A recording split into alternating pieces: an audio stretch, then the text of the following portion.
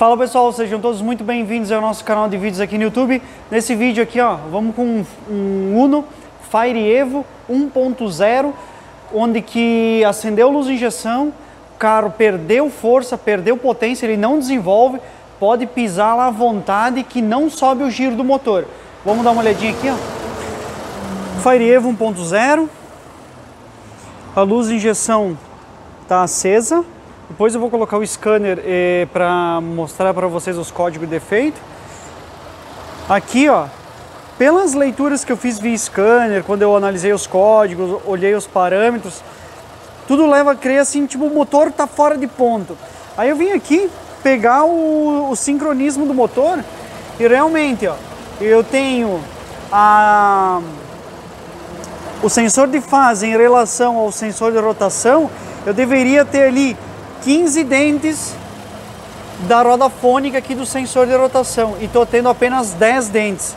Então, o que está mostrando aqui que ele está fora de sincronismo eletrônico. Eu já fiz outros e tem imagens salvas em que o sincronismo eletrônico perfeito, o sincronismo mecânico, analisando pelo eletrônico, ele daria no 15 e aqui está batendo no décimo dente. Então estaria cinco dentes aqui do, sen, do, do sensor de rotação uh, em relação ao sensor de fase. Cinco dentes, o motor estaria atrasado, certo? Só que, olha aqui, olha aqui que eu encontrei lá caído, ó. Quebrou a capa, ó, apodreceu, ela tá toda, tá toda podre, ó.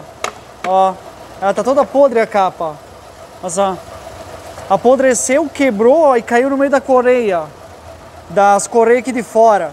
Então vai saber se não caiu um pedaço no meio da dentada e tirou esse motor fora de sincronismo. Olha aqui também, ó. Olha isso aqui.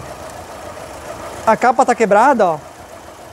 Aí botaram uma cinta plástica, ó. Para segurar ela no lugar. E, e a de baixo caiu fora. Então provavelmente já estava presa com parafuso, quebrou tudo. Então vamos passar para o cliente que nós vamos ter que trabalhar esse sincronismo. Aqui já está desmontado, o cliente autorizou. Aqui, ó. A gente vê bastante pedaço de plástico ali, ó. Certo? Tem um pouco de vazamento de óleo também. Tá? Aqui, ó. Aqui embaixo, ó. Eu coloquei a ferramenta, posicionei ali na polia, coloquei no lugarzinho certo. E aqui eu encaixei a ferramenta no comando, ó. Tá? Então o comando aqui está travado. E olha só aqui, ó. Com a, a ferramenta aqui na polida virabrequim na posição correta, isso daqui, ó, deveria dar aqui, ó, nesse parafuso, ó, para te ver aqui, ó, para vocês verem, né, o quão fora ficou, ó, tá? Então, o que, que significa? Que deve ter entrado um pedaço aqui da de plástico aqui, ó, e girou, o motor girou um pouquinho aí, uh, saiu fora de ponto, né? Tá? Essa coreia aqui também é uma coreia que ó, tem cara de não ser tão velha assim, mas o cliente não trocou, ele comprou já o carro assim. Tá? Então, acredito que não, não, não, não, não ficou fora isso na em quem montou porque o carro funcionava bem. Tá? Então tá aí, ó, vamos ter que fazer esse ajuste e já vai entrar um kitzinho novo aqui também. Então eu vou uh, deixar tudo pronto aqui para mostrar para vocês novamente o sincronismo. Foi feito um, uh, não faz uh, muito tempo aí, eu acho uns vídeo, um vídeo anterior, dois aí, tem aí de um Fire Evo aí também que a gente pegou, tá? E aqui fora sincronismo, aí vai entrar as capinhas original e tal. Aqui agora, já montado aí com a nova correia, tá? 70 newtons, 25 newtons. Agora aqui ó, a ferramenta posicionada aí uh, corretamente, travada, e aqui, ó, essa do comando, ó, olha só, olha que maravilha. Ó, perfeito, ó. Show de bola, tá? Aqui, ó, o câmbio, ó, 12 graus, tá? 12 graus não, 12 horas, né?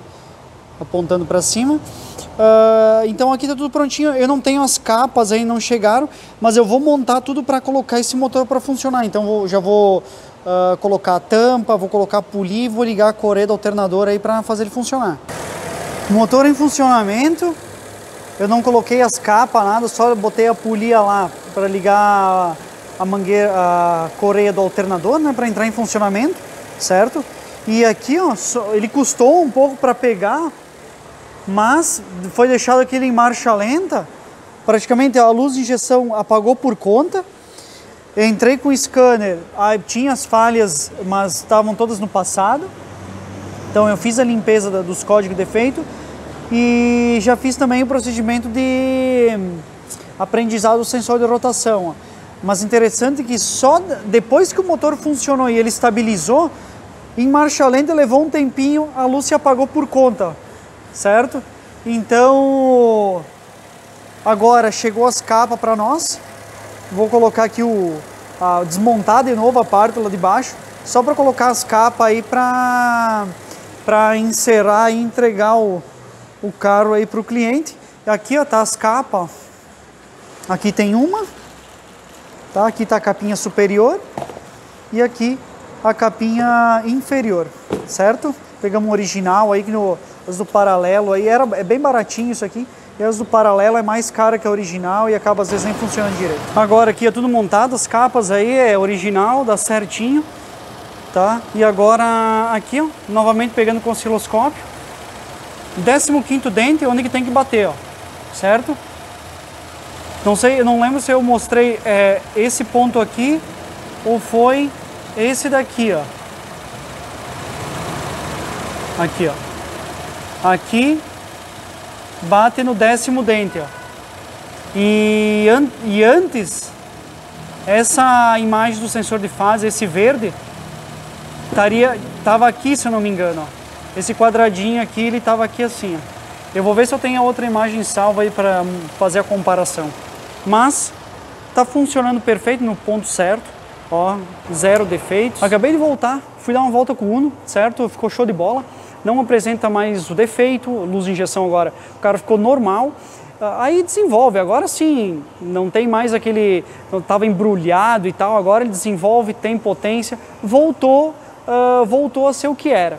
Então, um detalhe que do sincronismo, ali o que aconteceu, que possivelmente aconteceu, quebrou a capa e a capa entrou no meio da polia e esse motor deve ter girado ali saindo fora de ponto. Mas o detalhe também que ele tinha uma marcação de tinta. Então, outro detalhe também, que todo motor existe o sincronismo uh, correto. E muitos deles, a maioria deles, se utiliza ferramentas para travar mecanicamente o motor para fazer a substituição da correia. Então o que acontece? Por mais que o motor funcione, tenha o seu funcionamento normal, entre aspas, uh, eletronicamente sempre vai, vai ter um pequeno desvio, certo? Porque com a ferramenta tu consegue travar certinho e colocar na posição uh, certa de montagem mecanicamente. Uh, eu, eu comentei que eu ia ver se eu tinha uma imagem da, desse sincronismo antes de eu desmontar, quando estava com defeito. Eu fui procurar agora, infelizmente eu não salvei no scanner, tá? no, no PDL lá eu não printei a tela para mostrar, certo? Então vou ficar devendo essa daí. Mas agora o sincronismo está correto como tem que ser e a gente nota pelo próprio funcionamento do carro, certo? E agora sim, vamos liberar aí para o cliente aí mais um problema resolvido e também mais uma vez, né? cuidar com o sincronismo, cuidar onde é que tu leva teu carro, tá? Ver se os procedimentos são feitos corretamente, principalmente na parte de sincronismo, porque o que a gente vê? Quando o, ele fica um pouquinho fora, qual que é o problema que tu vai perceber? Uh, vamos supor que ele está funcionando bem, certo? Vai começar a ver luz de injeção piscando, ou de vez em quando ela acende, de vez em quando ela apaga, uh, ela acende intermitente, ela dá só umas piscadas, ou ela fica piscando continuamente, aí gera defeito de componente, de sensores e por aí vai. Gera uma escolhambação aí na injeção eletrônica, certo? Como esse carro ele já tinha passado por revisão há um tempo atrás, então vela, cabo, isso daí já foi feito tudo, filtro, corpo borboleta estava limpo, certo? Então, boa parte, por isso que eu não, não teve coisas que eu não, não olhei, porque eu já sabia que já tinha sido revisado. E o defeito via scanner lá estava caracterizando um defeito de sincronismo. Uh, e outro detalhe que no, no caso como estava, pode gerar, não é porque tinha uma vela nova que ele pode uh, uh, detonar a vela.